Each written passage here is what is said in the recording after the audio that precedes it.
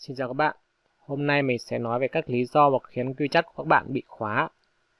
Các bạn uh, bị khóa thì không uh, phải không có lý do đâu, nó có đều có lý do cả đấy. Và mình trong bài này thì mình cũng sẽ nói về cách hạn chế tài khoản WeChat bị khóa luôn. Thì đầu tiên mình sẽ đi đến các lý do và cách hạn chế luôn nhé. Đợi, lý do đầu tiên khiến cho tài khoản WeChat của các bạn bị khóa là các bạn kết bạn ngay khi mới tạo nick WeChat đây là các lỗi các bạn thường gặp với những ai mà sử dụng WeChat để làm việc ấy. Các bạn rất là nôn nóng các bạn tạo xong các bạn đi kết bạn luôn. Thì nó sẽ hiện thấy cái lỗi là báo cáo WeChat là tìm được thấy gửi lời mời chào bất thường ấy. Uhm, tại vì các bạn mới tạo nick xong mà. Uhm, WeChat nó đang nick còn mới WeChat nó sẽ quét liên tục. Và tự nhiên bạn các bạn kết bạn luôn các bạn nói chuyện với người nhất là người Trung Quốc thì các bạn sẽ bị khóa lập tức chắc chắn luôn thì để hạn chế cái việc bị khóa như này, thì đây là cách các bạn có thể nuôi nick. Các bạn nuôi nick trong vòng một, ít nhất một tuần cho mình. Và các bạn không sử dụng tính năng trò chuyện và kết bạn.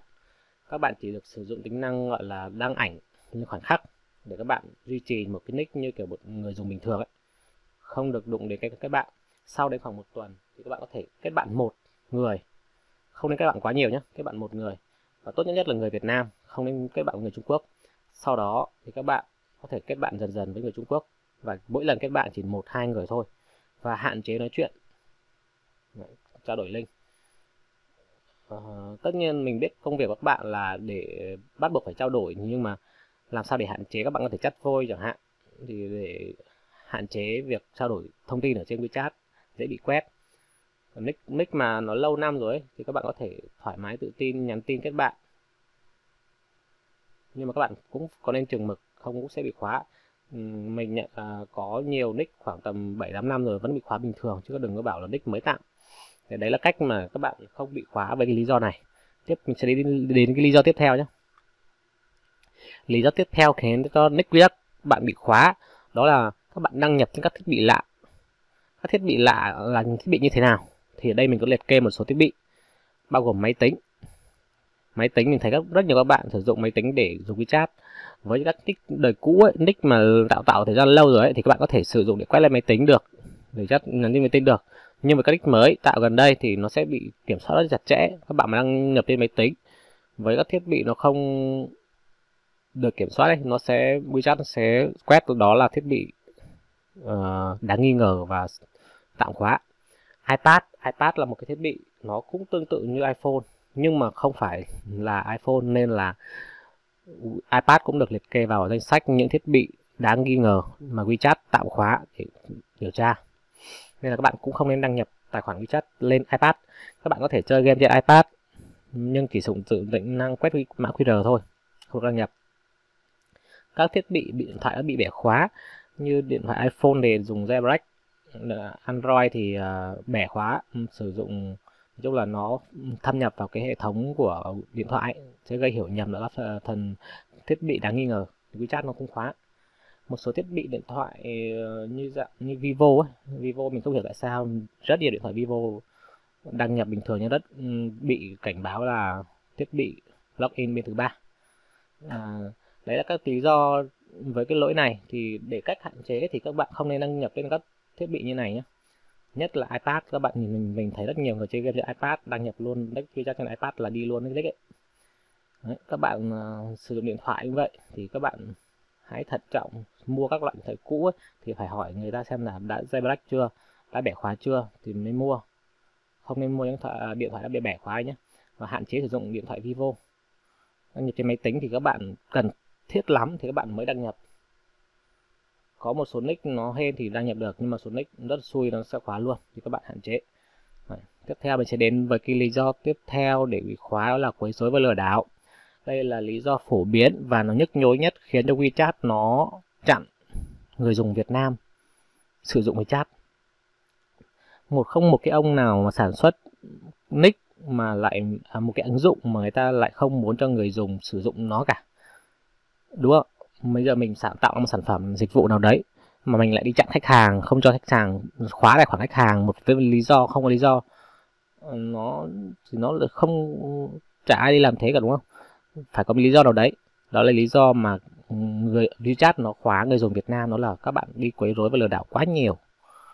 Quấy rối uh, lừa đảo đây thể hiện ở các hình thức đó là tạo rất nhiều nhóm chat.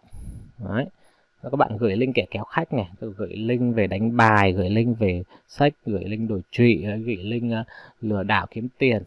Rồi các bạn nhắn tin về các vấn đề tài chính lừa đảo.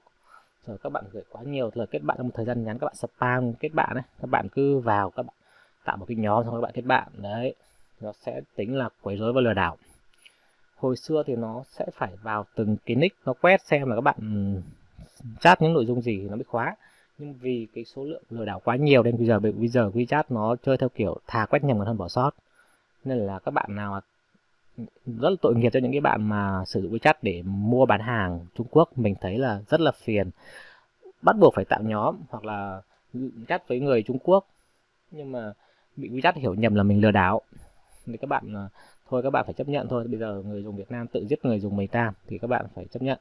Thì để giúp cho cái môi trường sử dụng WeChat nó trong sạch hơn thì các bạn nên tố cáo những người lừa đảo.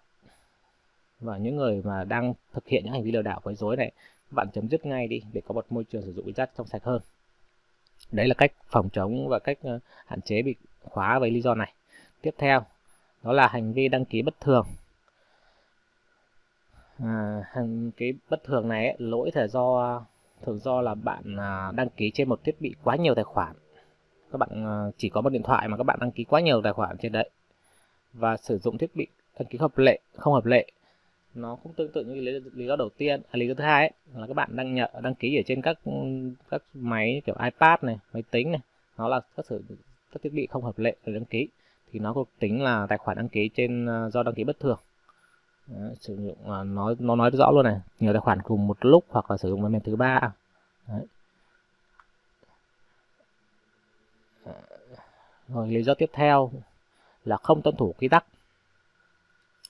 Này là không phải do người dùng, thường thường thì không phải do người dùng, mà nó là do cái quy tắc quét nhầm thả nó quét nhầm còn hơn bỏ sót, như bạn mình nói.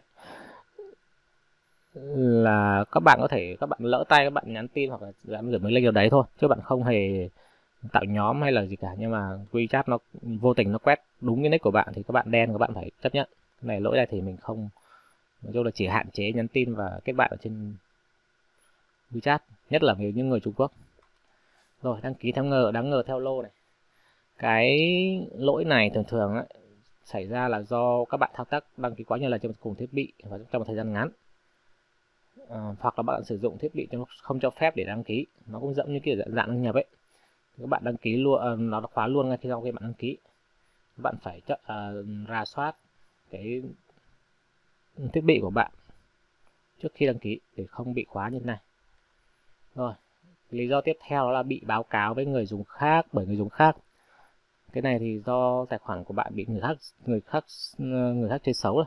Người ta báo cáo bạn ví dụ bạn làm ăn uy tín trên WeChat chẳng hạn thì các bạn bị uh, người ta ghen ăn tức ở người ta báo cáo thì này phải chấp nhận thì cái này có thể mở được. Rồi uh, cái lỗi tiếp theo đó là lỗi không đăng nhập trong một thời gian dài. Cái lỗi này thì rất thành thấy rất nhiều bạn phổ biến. Là các bạn à, uh, tạo đích xong các bạn không dùng.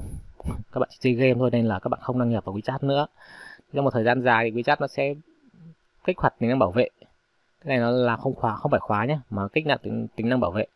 Thì các bạn đăng nhập lại các bạn trả lời câu hỏi hoặc các bạn sử dụng cái thiết bị có mã QR hoặc là nhờ bạn bè hỗ trợ là đăng nhập được. Này thì không đáng lo nhưng bắt buộc các bạn phải có các bạn bè trong cái chat. Và các trường hợp mà không thể mở khóa thì nó có thể thông báo như thế này. Tài khoản bị khóa không thể yêu cầu bỏ chặn, hoặc là có một trường hợp nữa là tài khoản bị khóa vĩnh viễn thì cái này không thể mở được. Cái này chắc chắn là do các bạn vi phạm quá nhiều lần rồi. Nhất là cái lừa đảo quấy rối. Tiếp thị đấy, nên các bạn không nên làm những cái thao tác như thế nữa. Không nên lừa đảo gì. Thì WeChat nó sẽ không làm khó anh em người dùng Việt Nam nữa đấy, trên đây là những cái lý do mà mình nêu ra về các lỗi mà WeChat khóa tài khoản của các bạn. Thì các bạn có thể xem và các bạn khắc phục xem là mình có bị một trong các lỗi này không và các bạn khắc phục nhưng mình là hướng dẫn. Và chúc các bạn sử dụng WeChat vui vẻ và bền lâu. Cảm ơn các bạn đã theo dõi nhớ đăng ký kênh và like. Xin cảm ơn các bạn rất nhiều.